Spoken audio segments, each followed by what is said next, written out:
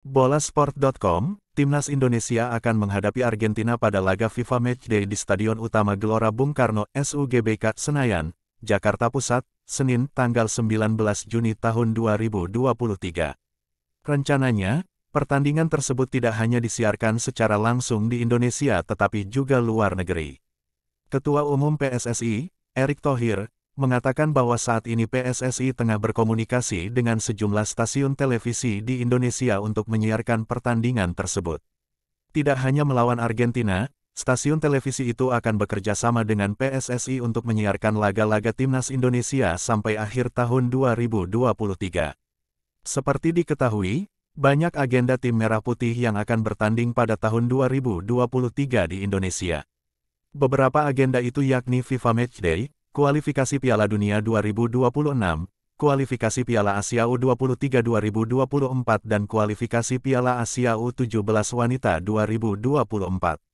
Rencananya, PSSI akan mengumumkan pemenang dari hasil bidding stasiun televisi tersebut pada Senin tanggal 29 Mei tahun 2023. Pengumuman itu sekaligus bersama-sama dengan harga tiket pertandingan Timnas Indonesia vs Argentina. Kami sedang proses bidding untuk hak siar untuk seluruh pertandingan Timnas Indonesia sampai akhir tahun 2023.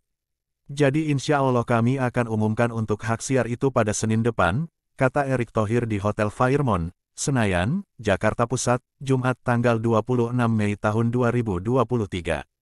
Lebih lanjut Erick Thohir mengatakan bahwa pertandingan skuad Garuda vs Tim Tamo juga akan disiarkan di stasiun televisi Argentina. Untuk masalah ini, PSSI menyerahkan semuanya ke Federasi Sepak Bola Argentina, AFA. Mantan ketua KOI itu tidak tahu menahu terkait hak siar di Argentina.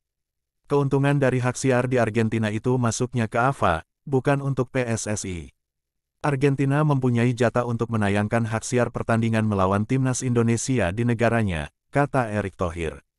Semoga Senin depan sudah ada pengumuman semuanya termasuk hak siar di dalam negeri maupun luar negeri, tutupnya. Selain melawan Argentina, timnas Indonesia juga akan menghadapi Palestina. Duel tersebut akan digelar di Stadion Gelora Bung Tomo GBT Surabaya, Jawa Timur, pada tanggal 14 Juni tahun 2023. Untuk menghadapi dua pertandingan itu, pelatih timnas Indonesia, Sintayong, akan mengumpulkan pemain pada tanggal 5 Juni tahun 2023 di Surabaya, Jawa Timur. Sejauh ini belum disebutkan jumlah pemain yang dipanggil Shin Tae-yong ke timnas Indonesia. Sementara itu, timnas Indonesia bukan satu-satunya lawan Argentina di Asia. La Albiceleste itu juga akan melawan Australia di Beijing, China, pada tanggal 15 Juni tahun 2023.